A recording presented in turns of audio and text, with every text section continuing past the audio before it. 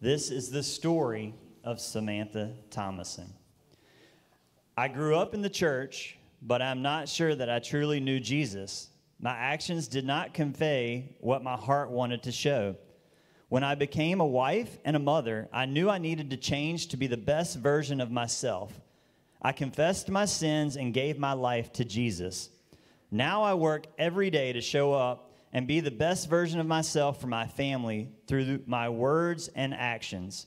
This is the story of Samantha Thomasson.